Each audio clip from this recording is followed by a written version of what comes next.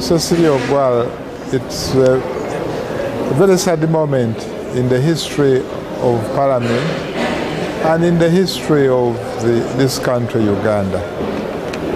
She was a mother to our Parliament. I think she's been with us for over how many years? So many years. We thank God who actually endowed her with the knowledge, wisdom. She's always been guiding members. She's been an eloquent debater, very, very much influencing the debate. Uh, it's so sorrowsome, it's a pity, and uh, as a parliament, as Uganda, we need to stand together with the family and uh, the people of Dokolo to console together with the demise of our own beloved sister, Mama Cecilia Barbara Ogwal. She's a lady that has been outstanding. She's a lady that has been standing on her own ground to take a decision. I remember when he represented Uganda uh, in uh, outside conferences, he stood before the whites and explained our norms, values. And, it is sad that we have lost an icon in the names of the Honorable Cecilia Ogwal. She was uh, a voice in this house.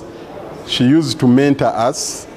She used to put Uganda at heart. Uganda was first before she even thought of her political parties and beliefs. So if you lose such a person, it is uh, something which is paining. Atat has been around in the political space for some time.